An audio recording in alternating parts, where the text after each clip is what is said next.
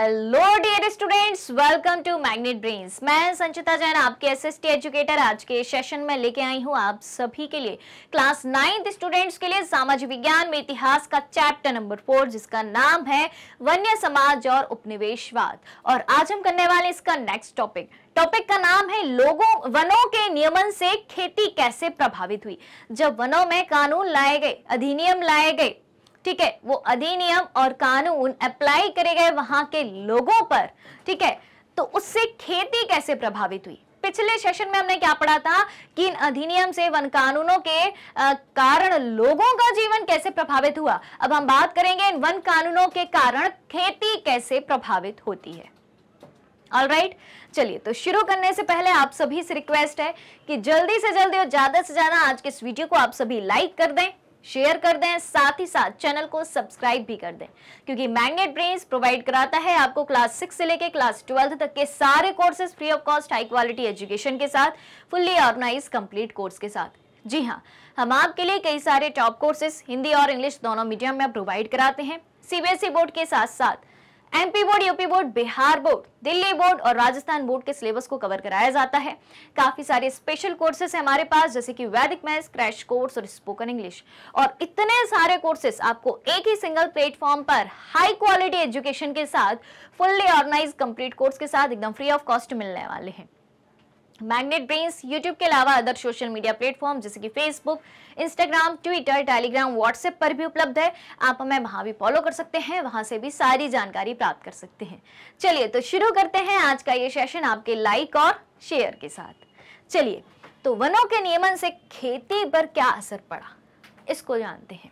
ठीक है? तो अब देखो यूरोपीय उपनिवेशवाद की यहाँ पर बात कही गई है। यूरोपीय उपनिवेशवाद, यानी कि जब यूरोपियों ने भारत पर अपना अधिकार स्थापित कर लिया था। सीधी बात है।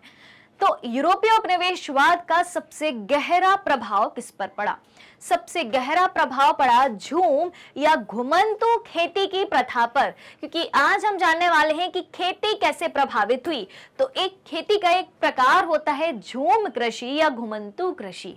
अब भाई झूम या घुमंतु कृषि होती क्या है? है कि नहीं? घुमंतु से समझ में आ रहा है कि भाई घूम घूम कर कुछ ऐसी खेती करी जाती है या झूम के खेती करी जाती है तो सुनो भाई। बिल्कुल, अब सुनना। ये जो झूम कृषि या घुमंतु कृषि है, वो जंगलों में करी जाती है। क्या किया जाता है कि जंगल के कुछ पार्ट को, यानी कि थोड़े से हिस्से को जला दिया जाता है और जो जलाने के बाद जो राख बचती है जो राख मिलती है, उसी राख में अलग अलग फ़सलों के बीज बो दिए जाते हैं और उसमें फिर जो है खेती करी जाती है। और फिर दो वर्ष तक उस क्षेत्र में खेती करी जाती है और दो वर्ष के बाद फिर क्या किया जाता है? लोग दूसरी जगह चले जाते हैं, दूसरी जगह के जंगल के कुछ पार्ट को जलाते हैं और फिर वहाँ पर खेती करते हैं। ऐसा दो से तीन साल में ये कार्यक्रम जो है चलता ही रहता है, यानी कि दो से तीन साल में जगह परिवर्तित होती रहती है। यानी कि एक जगह से दूसरी जगह दूसरी जगह से तीसरी जगह ऐसे घूम घूम के खेती करी जाती है, जिसको कहा जाता है झूम कृषि या घुमंतु कृषि। अब ये जंगलों में ही करते थे तो जंगल के जंगल काटे जा रहे थे और दूसरी बात यह कि जंगलों में लोगों के प्रवेश की मनाही कर दी आरक्षित वनों को तो कि भाई आप प्रवेश ही नहीं कर सकते तो अब बताओ लोग वहाँ जाके जंगल को जला के पेड़ पौधों को जला के खेती कैसे करेंगे? हो गई समस्या खेती के मामले में, ठीक है? तो अब देखना एशिया, अफ्रीका व दक्षिण अमेरिका के अनेक भागों में यह खेती का एक परंपरागत तरीका है। एशिया महाद्वीप, अफ्रीका महाद्वीप और दक्षिण अमेरिका के अनेक भागों में ये झूम खेती खेती का एक पुराना तरीका है, परंपरागत तरीका है और इसके कई स्थानीय नाम हैं। यानी कि झूम खेती को या घुमंतु खेती को अलग अलग जगह अलग अलग नाम से जाना जाता है। कैसे? जैसे दक्षिण पूर्व एशिया में लादिंग। दक्षिण पूर्व एशिया में क्या कहा क्या कहा जाता है? लादिंग कहा जाता है या लदांग भी कहा जाता है। ठीक है, फिर मध्य अमेरिका में मिल्पा। मध्य अमेरिका में क्या कहा जाता है? मिल्पा कहा जाता है। अफ्रीका में चितमेन या तावी कहा जाता है और श्रीलंका में कहा जाता है चेना। ठीक है अलग अलग जगह इसके अलग अलग नाम होते हैं। हिंदुस्तान में घुमंतु खेती के लिए धया। अब हिंदुस्तान में क्या कहते हैं? घुमंतु खेती के लिए धया। पेंदा बेबर नेवड़, झूम। पोडो, खंदाद और कुमरी ऐसे ही कुछ स्थानीय नाम हैं। यानी कि हिंदुस्तान के अलग अलग राज्यों में इसके अलग अलग नाम दिए गए हैं। ठीक है? तो अब इस प्रकार की खेती को पहुँच गया खतरा। अब घुमंतु खेती की प्रक्रिया क्या होती है? देखिएगा। तो घुमंतु कृषि के लिए जंगल के कुछ भागों को बारी बारी से काटा और जलाया जाता है। ठीक है? कैसे करी जाती है झूम खेती? तो घुमंतु कृषि के लिए जंगल के कुछ भागों को बारी बारी से काटा जाता है, जलाया जाता है। मॉनसून की पहली बारिश के बाद इस राख में बीज बो दिए जाते हैं। ठीक है? जंगल को काटा, जो राख मिली। ठीक है? तो जैसे ही मानसून की पहली बारिश हुई, उस राख में वो बीज बो दिए जाते हैं और अक्टूबर नवंबर में फ़सल काट ली जाती है। और इन खेतों पर दो साल तक खेती करने के बाद, कब तक? दो साल तक खेती करने के बाद इन्हें 12 से 18 साल तक के लिए परती छोड़ दिया जाता है। परती यानी कि खाली छोड़ दिया जाता है। फिर वहाँ खेती नहीं करी जाती। ठीक है? क्यों? क्योंकि वहाँ फिर से जंगल पनप जाएगा। ठीक है? एक बहुत बड़े जंगल का क्षेत्र है। जंगल की कुछ भाग के पेड़ पौधे जलाए उसकी राख में मानसून आने पर बीज बो दिए। दो साल तक वहाँ खेती करी, फिर 12 से 18 साल के लिए वो ज़मीन छोड़ दी, फिर दूसरी जगह खेती करी, दो साल तक वहाँ करी, वो ज़मीन छोड़ दी। ऐसे करके वो अलग अलग जगह पर खेती करते रहे और हर एक जगह को बारह से अठारह साल के लिए खाली छोड़ दिया। पट्टी छोड़ना यानी कि खाली छोड़ना ताकि वहाँ जंगल उगाए। अब जंगल फिर से उगाएगा तो फिर से वही खेती की प्रक्रिया वापस घूम के वहीं आ जाएँगे करने के लिए। इसलिए इसे कहा है झूम कृषि या घुमंतु कृषि, जिसकी प्रक्रिया कुछ इस तरीके से होती है।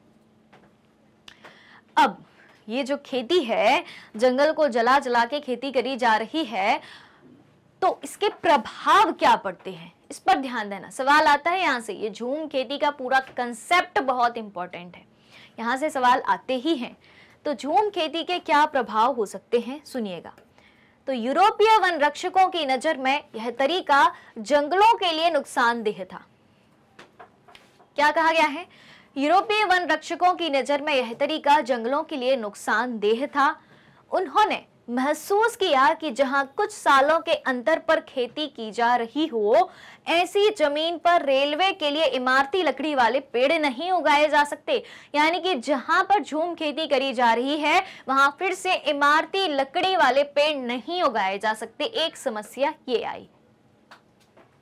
साथ ही जंगल जलाते समय बाकी बेशकीमती पेड़ों के भी फैलती लपेटों की चपेट में आ जाने का खतरा बना रहता है।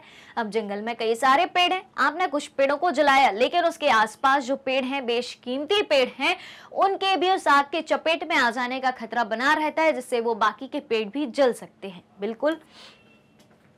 फिर गुमंतु खेती के कारण सरकार के लिए लगान का हिसाब रखना भी मुश्किल था।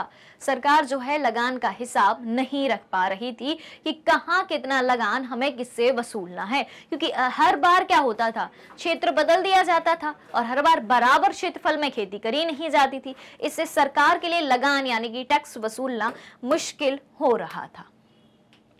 फिर सरकार ने घुमंतु खेती पर रोक लगाने का फैसला किया कि अब से झूम कृषि नहीं होगी। परिणाम स्वरूप परिणाम स्वरूप क्या हुआ? यानी कि जब घुमंतु खेती पर रोक लगाने का फैसला लिया गया तो उसका रिज़ल्ट क्या निकला कि अनेक समुदायों को जंगलों में उनके घरों से जबरन विस्थापित कर दिया कि अब आप जंगल में घर बना के नहीं रह सकते। जब आप जंगल में घर बना के नहीं रहोगे, तभी आप जो इस प्रकार की खेती नहीं करोगे। ठीक है, विस्थापित कर दिया, यानी कि उन्हें दूसरी जगह भेज दिया, दूसरी जगह को दूसरी जगह जंगल को छोड़कर दूसरी जगह में रहने के लिए मजबूर कर दिया। ठीक है, कुछ को अपना पेशा बदलना पड़ा तो कुछ ने छोटे बड़े विद्रोहों के ज़रिए प्रतिरोध भी किया। क्या होता है? कुछ को अपना पेशा बदलना पड़ा, क्योंकि अब वो झूम खेती नहीं कर सकते थे।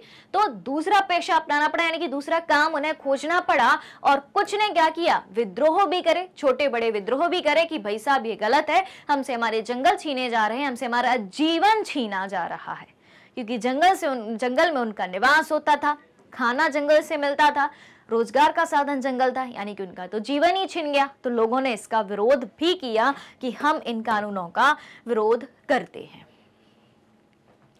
और इस तरीके से आज का ये सेशन भी यहीं पर खत्म होता है। ठीक है, मिलते हैं जल्दी ही अगले टॉपिक के साथ, अगले वीडियो में। ऑल राइट चलिए तो चलते हैं। अगर आप हमारे डेली के लाइव सेशन और रिकॉर्डेड सेशन से जुड़ना चाहते हैं, सारी चीज़ें उपलब्ध हैं मैग्नेट ब्रेन्स के यूट्यूब चैनल वेबसाइट और एप्लीकेशन पर। मैग्नेट ब्रेन इंडिया का number one hundred percent free online education platform है। इसके अलावा अगर आप ई बुक्स और ई नोट्स भी चाहते हैं, उसकी लिंक भी वीडियो के डिस्क्रिप्शन बॉक्स में दी गई है। वहाँ से आप अवेल कर सकते हैं, सारी चीज़ें, सारी जानकारी के साथ प्राप्त कर सकते हैं। हमारे पास आपके लिए कई सारे टॉप कोर्सेस हिंदी और इंग्लिश दोनों मीडियम में अवेलेबल हैं। सीबीएसई e के साथ साथ Delhi, Bihar, UP, MP, Rajasthan board के सिलेबस को कवर कराया जाता है। काफ़ी सारे स्पेशल कोर्सेस हैं, वैदिक मैथ्स क्रैश कोर्स और स्पोकन इंग्लिश और इतने सारे कोर्सेस आपको एक ही सिंगल प्लेटफॉर्म पर हाई क्वालिटी एजुकेशन के साथ फुल्ली ऑर्गेनाइज कंप्लीट कोर्स के साथ, एकदम फ्री ऑफ़ कॉस्ट मिलने वाले हैं।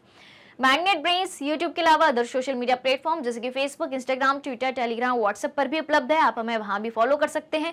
वहाँ से भी सारी जानकारी प्राप्त कर सकते हैं। तो आज के सेशन को ज़्यादा से ज़्यादा लाइक और शेयर करते हुए चैनल को सब्सक्राइब भी करना है। हमारे साथ बने रहिए, जुड़े रहिए, पढ़ते रहिए, खुश रहिए। Thank you so much